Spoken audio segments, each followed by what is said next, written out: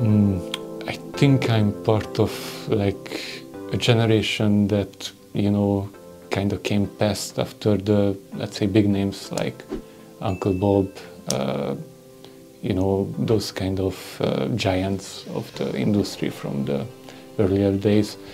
Obviously, I do read occasionally, you know, blog posts and follow them on Twitter. But uh, if I if I'm honest and you know on a day-to-day basis, I'm mostly following the younger guys who are kind of like uh, upcoming content creator creators, if that makes sense.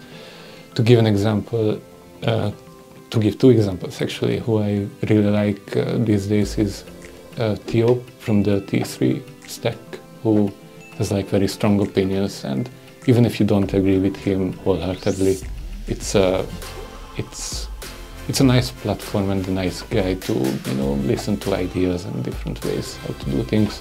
And the other one is Prime or the Primeagen, who is also he doesn't have as much of like a controversial opinions, but he's also a very experienced guy working for Netflix, I believe.